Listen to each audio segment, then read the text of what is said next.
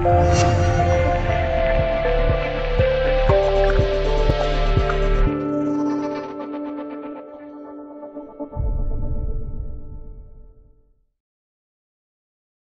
目期待的二零一八年珠海航展明天就开幕了，相信好多小伙伴们提前就去了现场。那么，全场体型最大的两架飞机，当属两架崭新姿态的运二十，还要进行飞行表演。运到二十是我国大飞机研制历史上的一个里程碑，也是我们创建战略空军的法宝。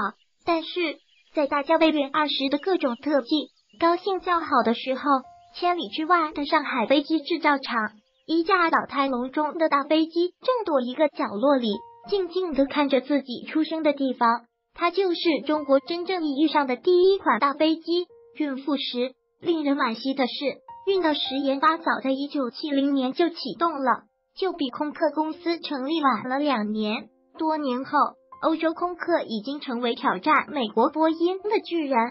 但咱们的大飞机产业却因孕妇时的下马，不得不重新开始。在那个连歼负七和津巴都搞不明白的年代，搞一架喷气式客机的难度可想而知。更何况孕妇时的指标是剑指都是非常成功的大型客机，波音七百零七。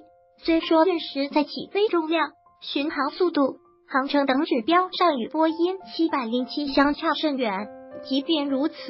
它的性能还是超越了当时中国民航市场最先进的客机——英国三叉戟和伊尔六十二客机。波音七零七客机在整个研发过程中制造出两架原型机，第一架用于静力测试，第二架从一九八零年九月首飞后参加了各种试飞工作。不过，在陨石翱翔蓝天之际，时刻关注中国航空工业的美国媒体却给孕妇时抹黑造谣。说孕妇时的气动布局照抄波音七百零七，即便波音老总亲口澄清，这些美国媒体仍各持己见，胡说八道。资料来源：航空发展史。虽然孕妇时的下马令我们十分惋惜，但在整个研发过程中，有一些问题始终得不到解决。首先是孕妇时的疲劳测试尚待进行，虽说这个问题非常容易，给钱就完事了。但受限于国家经济，钱真的没有。其次，当时国产高密度铝合金 LC 四韧性较低，无法满足孕妇时的需求。最后，受限中国航空发动机，孕妇时的噪音和油耗简直无法忍受。在民航机领域，经济性始终是客机的第一指标。如果运时始终是有老虎的话，肯定对外销产生负面影响。孕妇学和他的总设计师，当然，这些并不是陨石下马的直接原因。真正的罪魁祸首是一架洋人大飞机卖到 DC 九。别看波音卖到平时斗得欢，但其实后者已经日薄西山。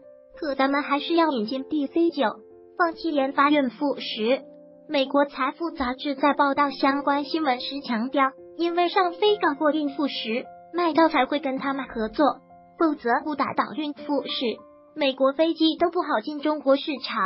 孕妇时的结局可以说是中国立项的所有飞机里最差的。原本价值数千万的人民币，八十年代不是小数，用来制造第三架原型机的设备和材料，全都为了 DC 九拿去练技术。而 DC 九也在组装两架之后，因卖到公司的破产而结束。不过，运师用他的惨痛经历告诫我们。中国不能没有属于自己的大飞机，不能没有属于自己的大飞机工业。